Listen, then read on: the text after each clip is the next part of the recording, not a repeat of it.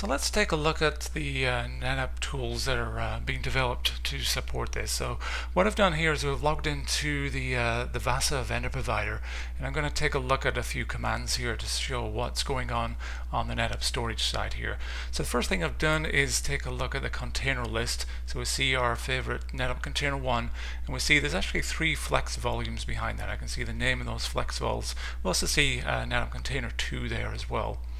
Uh, so here I've run another command called cluster list. This is showing me the uh, cluster modes, uh, configurations, the servers that are in there, and all the flex vols that uh, I have in this configuration.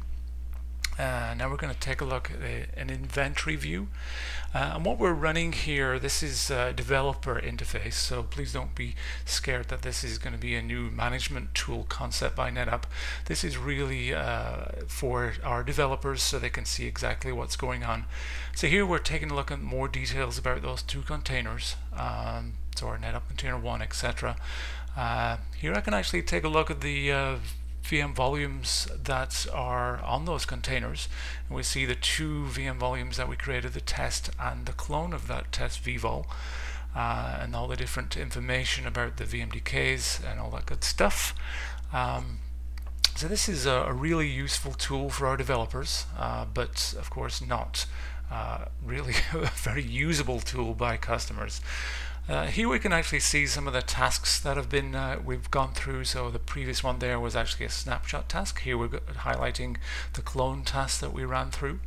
And uh, we can take a look at some of the uh, statistics, what has been going on on the VASA provider, um, all the ZAPI calls, the API calls the providers been making to the controllers.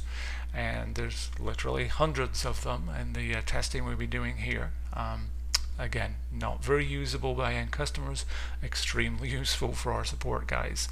And some of the uh, this tool will also be uh, a lot of this will actually be useful for customers, but more in the support uh, side, so we can actually generate support logs of what was going on in the system, etc.